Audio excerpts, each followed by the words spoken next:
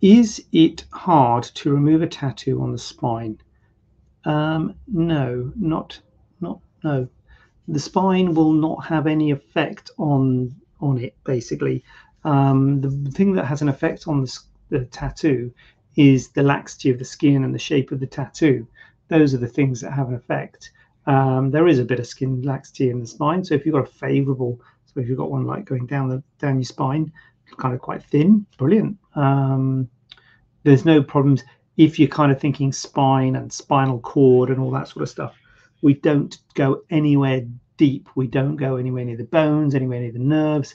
So um, there's no um, there's no problem with um, with removing a tattoo that's over the spine because we're not going anywhere near the spine. We're just cutting skin out.